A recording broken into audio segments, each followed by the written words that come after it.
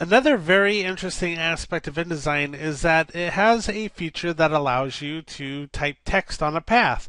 So you can create any type of path that you want to and apply text to it and shape it and form it just the way you want it to look.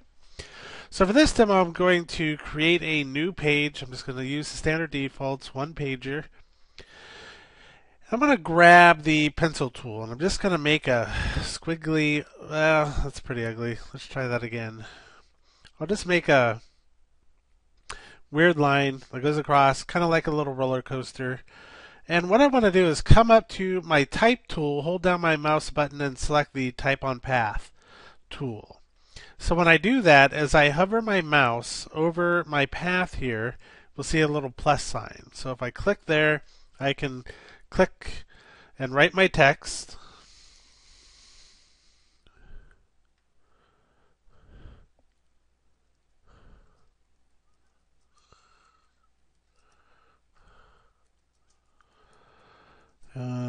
Over the lazy dog. All right, the quick brown fox jumped over the lazy dog. But there's an issue here with the way that I type this, and you can see, if we zoom in here, that my text is upside down on this current path.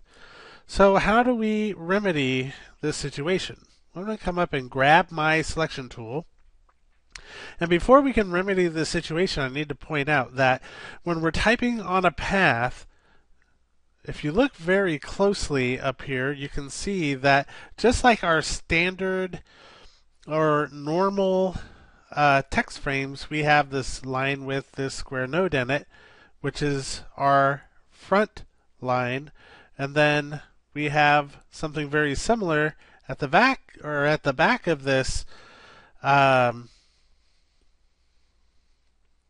path uh, that signifies the end of that. So I can move this along my path, which is going to represent where my text ends, right? So anything that goes beyond that, that line, will be overset text. So my text starts to disappear and we can see that little plus sign. So what that means is if we have another path or another text frame that we want this to overlap into, we can specify that just like a normal text frame would. Now, a question, if you're new to this, that you will probably have when you run into it, is how do I move my text on this line? Well, if we grab that front node and just kind of push it forward, then as we push it along there, our text will flow accordingly. But now we have, or we're still faced with a much bigger problem, and that is that we've assigned this text to a path, but it is upside down. And that's not really going to be easy for somebody to read. So, how do we fix that?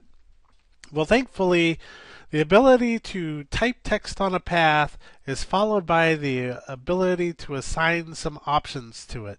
So, if I go under the type menu, there is the type on path menu with two sub options under it. So the first one is options, the second one is delete type from path. If I select the delete type from path, of course it's going to delete it. If I hit Control Z, it'll bring it back up. We'll go back up to the path tool and we'll go into the options. Now the options is where it really gets fun because here you can apply several options to format this the way you want it, the way you want to, in addition to being able to apply paragraph and character formatting, or more specifically, character formatting. So while this is on a path, I can still increase the font size, change the color, change the font if I want to, but I cannot do that from the type on path options. From here I can assign an effect, and the default effect is rainbow, but here I can skew it. And we can see that it flipped it up right, but it's still backwards to read it. So don't get confused here with what's going to happen in just a second. so here we have 3D ribbon, we have stair step, and we can also apply a little bit of gravity effect to it, which is kind of a cool little effect. But in most cases, you'll probably go with rainbow. But in the event that you typed your text on a path and it was upside down, you can always click the flip checkbox here to flip it upright. And that will, of course, read the way that it needs to read along the path. But the only difference here is remember that your nodes have switched. So your front of your line is now on the left, your rear of the line is now on the right.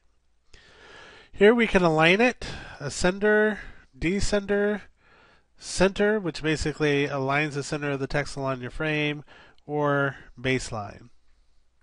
We can also choose the spacing of our text along this path, and we can choose two path options such as top, center, and bottom. And here we're previewing it. I'm going to leave it right where it's at and click OK.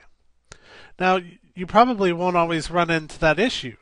And one example of that is if I delete that and let's say come in and grab the ellipse frame tool and just create an ellipse here and grab my type on path tool and click quick brown fox oops fox. Then we can see that it probably types more correctly and that's really just how I drew the line on my page. If I had drawn drawn my line from right to left, then I wouldn't have had that issue. Remember when we came in, this is how I drew my line. But if you want it to align from right to left by default, then you'll of course start your line from right to left, grab your type tool,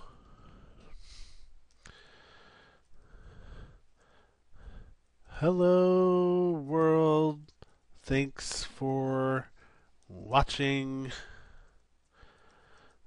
the show.